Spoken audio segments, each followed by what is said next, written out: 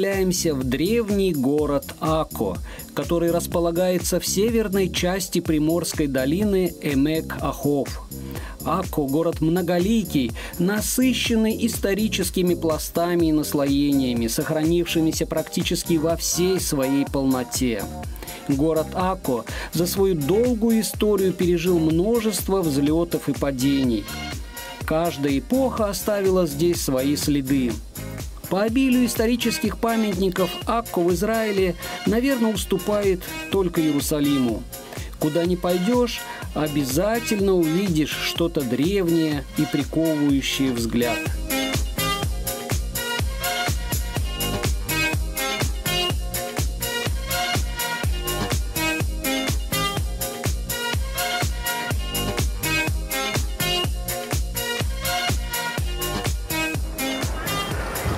Какая завораживающая красота, какое красивое побережье, старина, архитектура, удивительные памятники. Это один из самых древних городов в Израиле.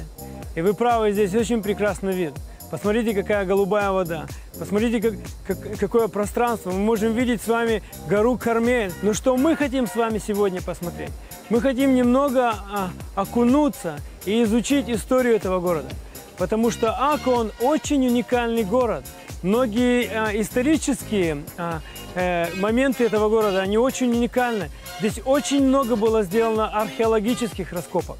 Но также мы с вами зайдем на местный рынок. Мы с вами попробуем э, местный хумус, местную национальную еду. Может быть, мы с вами попьем даже местный кофе. Мы посмотрим с вами на рыбный рынок. Впрочем, давайте приступим. Нас ждет очень увлекательное путешествие. Ну что, приглашаем телезрителей? Пожалуйста. Добро пожаловать. Город Акко.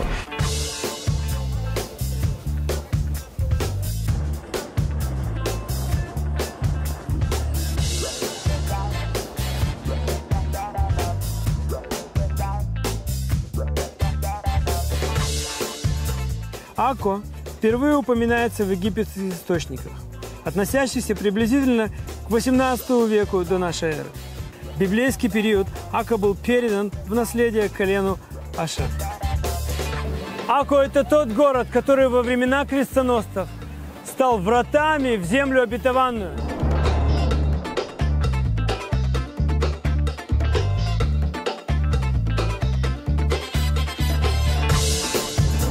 Сегодня в Акум нам также э, э, посчастливилось встретить представителя иуда иудаизма, одного из раввинов э, Бет-Кнессет, синагоги, которая располагается также в, в древнем городе Акум. И этот человек, он рассказал нам, что из этого города также произошли одни из некоторых еврейских мудрецов.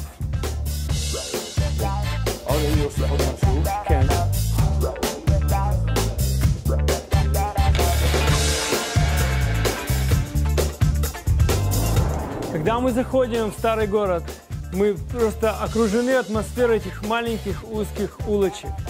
Как мы уже с вами говорили, что город Тако, он по-настоящему расцвел во времена крестоносцев. Они сделали из этого города по-настоящему оазис, место, куда люди устремлялись. Эти были врата в Эрец Исраэль.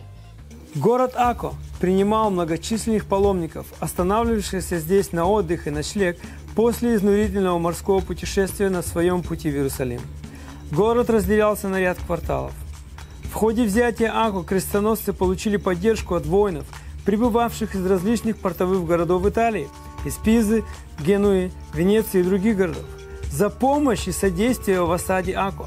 Выходцы из тех или иных городов удостоились территорий, на которых они построили укрепленные и автономные жилые кварталы.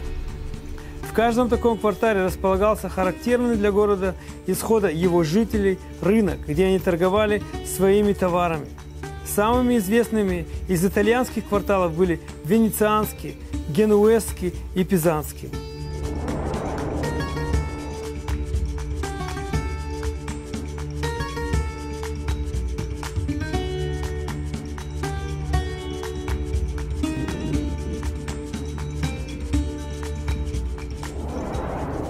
Город Ако обнесен массивными стенами.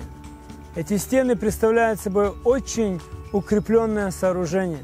Эти стены выстраивались на протяжении нескольких сот лет. Однажды к стенам этого города подошел Наполеон Бонапарт.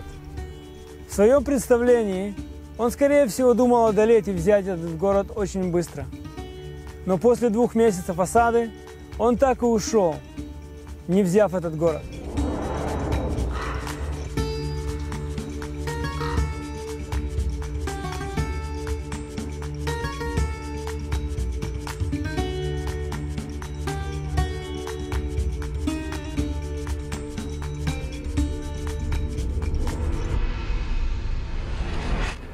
Опа. Так, куда же я попал? Мы Не тобой- могу сориентироваться. Мы с тобой оказались в музее, который находится в этих стенах э, старого города Ако. И это очень уникальный музей. Здесь собраны предметы утвари и различные э, до- домашние, до- домашние приборы, домашние принадлежности евреев, которые жили здесь на протяжении последних 200 лет. Да, здесь очень много различных а, уникальных экспонатов. Впрочем, давай посмотрим а, по порядку. Пойдемте.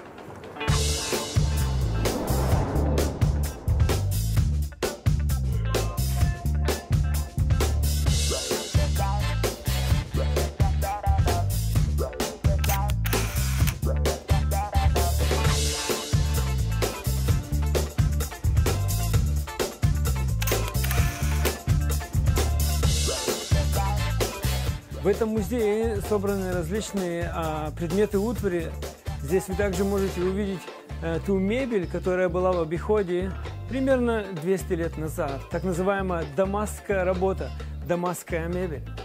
Мы можем также с вами видеть э, денежные банкноты, которые были в обращении со времени, э, когда здесь правили турки, Атаманская империя, до времени британского мандата предметы столового обихода, различные э, э, письменные принадлежности и просто сувениры, определенные вещи. Здесь также мы с вами можем видеть часы, которым уже около 100 лет, различные стулья, которые были в то время в эпохе. Опять же, предметы мебели, очень уникальный, очень уникальный музей. Я советую вам посетить здесь. Здесь все прямо-таки пропитано этим, этим духом атмосферы э, последних 200 лет.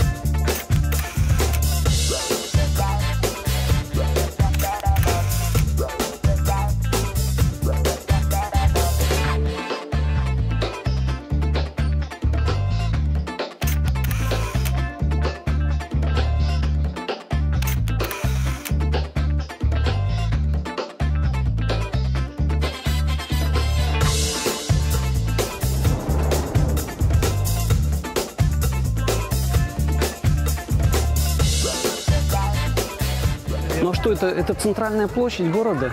Ну, это что-то вроде этого. Как вы уже увидели, город Ако, он очень уникальный. Здесь очень много различных исторических достопримечательностей. Просто хочется здесь быть целый день и, и, и касаться некоторых вещей, которые здесь есть, да. Но я хотел бы, чтобы мы немного изменили направление нашей экскурсии. Пойдемте просто-напросто и, и посмотрим на рынок этого города. Пойдемте немного э, вдохнем атмосферу этого города, рынка и, может быть, даже что-то покушаем. Ну вот я вижу, рынок начинается вот здесь, торговые ряды, и потом вот это ступеньки, это на рынок нас ведут. И эти ступеньки ведут в минарет, вместо, вместо мусульман. Мы же хотим с вами пройти немного глубже и зайти в самый центр этого древнего города, там, где располагается рынок. Ну а рынок этот арабский или еврейский, или он международный, или туристический? Рынок туристический, но а, большинство продавцов там арабы, люди, которые живут здесь. Хочется посмотреть на вашу рыбу и, и все вот эти реквизиты рынка. Хорошо, что же там пойдем. продается?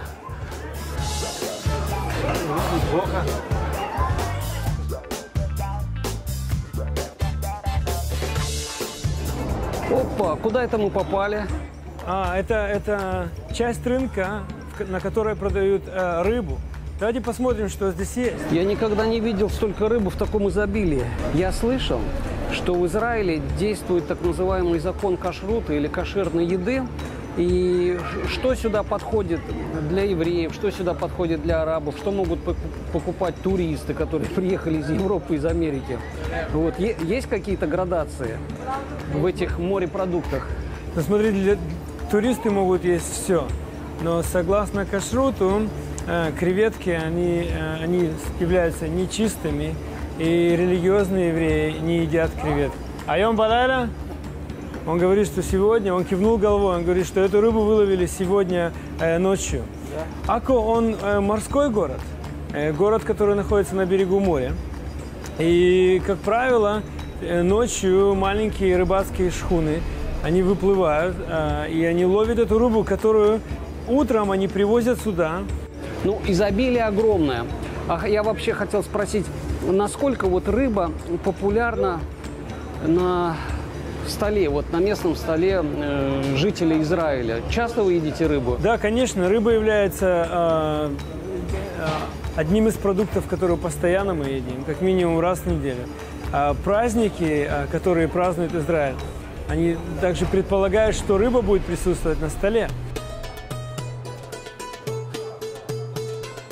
Посмотрите на эти, на различные э, пряности и специи, которые здесь есть. Ну вот я узнаю, это оливки. Это оливки, несколько видов, и они сделаны по-разному.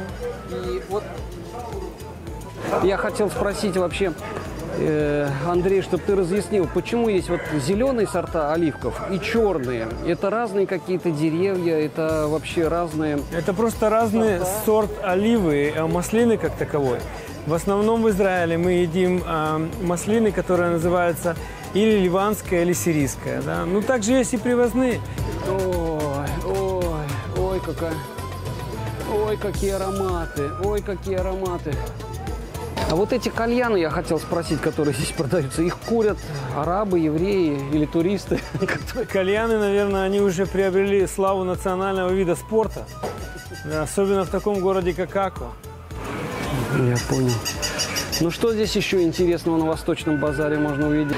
Глаза разбегаются, все такое разноцветное, ароматное, разные одежды. Наверное, вообще израильтяне любят такие яркие одежды, яркие платья, костюмы. Есть люди, которые по-настоящему любят это. Слушай, от такого изобилия фруктов и продуктов на этом восточном базаре просто потекли слюнки. Вот можно вообще тоже отведать какую-то восточную кухню? Например, какие-то вот коренные традиционные блюда. Ну, конечно, давайте отведаем знаменитого хумуса. Хумус Саид. Хумус Саид. О, с удовольствием. С удовольствием хумус Саид. Опа! Вот это да! Вот это да! Супер. Опа! Я хочу продегустировать и потом еще попросить Юру, нашего оператора, чтобы он тоже, он представитель северных народов, чтобы он продегустировал и сказал, что же это такое восточная кухня. Хорошо? Как это необходимо кушать? Каким образом? Это хлеб, который называется пита. Вы берете, разрываете этот хлеб. Вот это называется фуль. И вот фуль, вот это называется хумус. Вы берете... М, Это самый лучший хумус в мире. Из чего он делается? Из гороха, из особенного э, вида гороха. Значит, нам необходимо взять пету, потом что, освободить там пространство, да? И потом мы должны туда поставить салат и хумус. Вот, вот так, да, допустим, таким образом. Хумус. Или вы можете есть Я пробую. Внимание.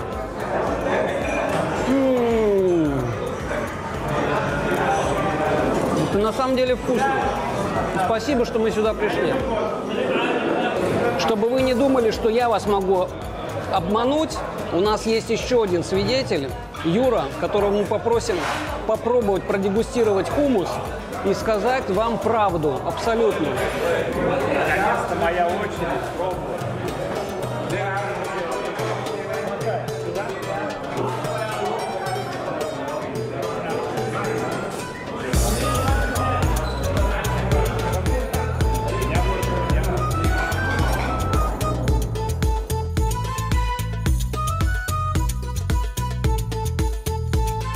Как вы видите, с, одной стороны вы можете приобрести различные э, сорта орех. Здесь они присутствуют в изобилии. Вот я вижу, это земляные орехи. Но если вы повернете сейчас вот налево, на другую сторону, у вас будет возможность также попробовать кофе. Вы видите, здесь есть различные сорта кофе, которые, если вы выбираете, мелят вам специально, молят вам в специальной машине. И потом сразу на месте вы можете попить вкусный ароматный кофе. Ну, я чувствую вот этот завораживающий запах кофе. И на самом деле столько много сортов, и все это в мешках. Я вижу, это приходит из Бразилии, из Коста-Рики, из Колумбии. Вот. Ну, хотелось бы, конечно, попробовать чашечку восточного кофе. А вот эти традиции, э, традиции, допустим, финские традиции кофе, они пришли когда-то из Швеции. И глубоко прижились в финском обществе. Финны не могут прожить одного дня, если они не выпьют три чашки кофе. А здесь, в Израиле? Ну, здесь кофе просто э, национальный продукт. Израильтяне пьют очень много кофе. По крайней мере, это является частью нашей культуры. Если вы хотите с кем-то пообщаться, поговорить, как минимум вы приглашаете человека на чашку кофе. Они стоят в очереди за кофе. Да.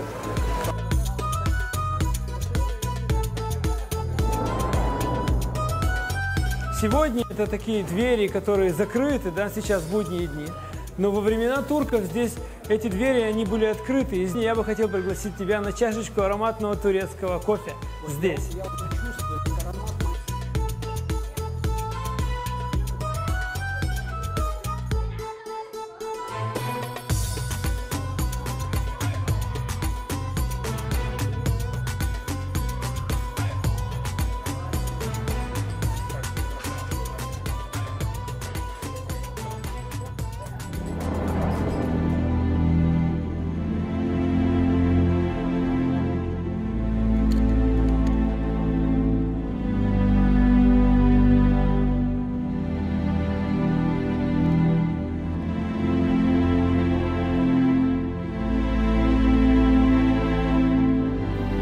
Крепость Ако была построена на основе крепости, которая осталась со времен крестоносцев.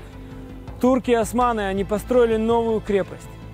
Эта крепость служила различным целям. Но во времена британского мандата, в начале 20 века, здесь была центральная тюрьма Северной Палестины.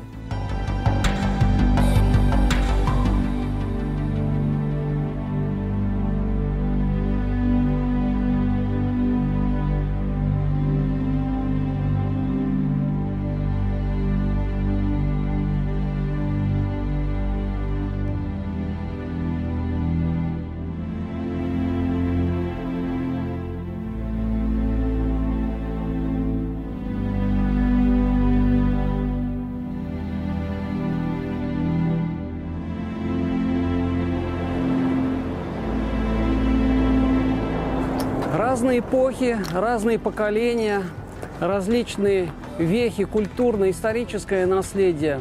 Все перемешалось. В голове у меня после того, как Андрей рассказал нам об истории этого города, просто образовалась настоящая каша. Но я понял, что этот город уникальный, интересный, и сюда можно приехать и в одиночку, можно совершить романтическое путешествие со своей возлюбленной. Можно сделать семейное путешествие, замечательно отдохнуть, покупаться, позагорать, покататься на лодочках и просто насытиться вот этой глубочайшей историей и провести замечательное время.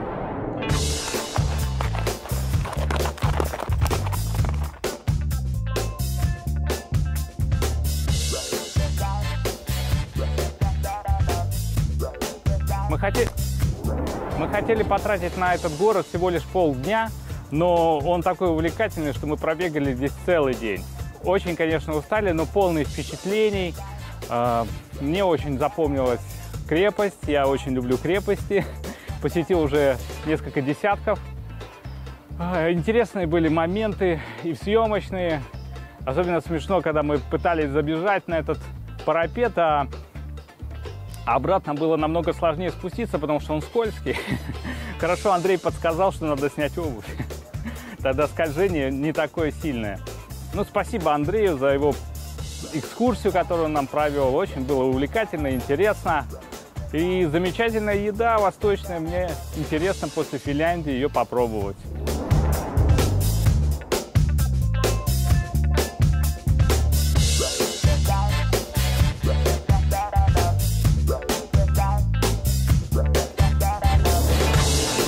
Не хватит даже целого дня для того, чтобы ознакомиться с этим богатым историческим наследием города Ака. Как мы видели, эпохи сменяли эпохи. Но этот город как стоял, так и продолжает стоять.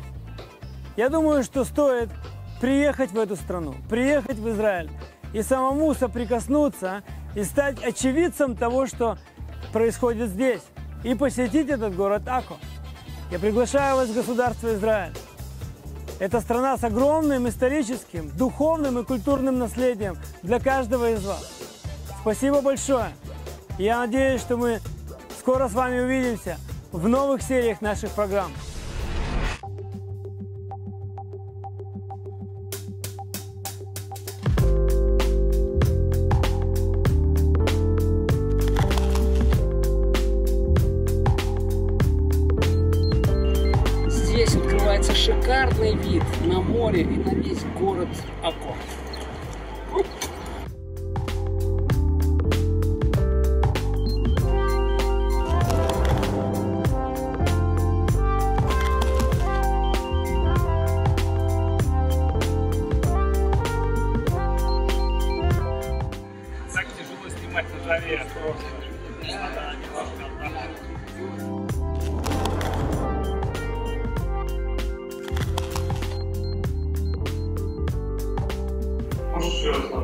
Очень интересное место? Откуда? Может, я не буду говорить очень интересное место, ты меня обрезаешь, оно не очень интересное, мрачное.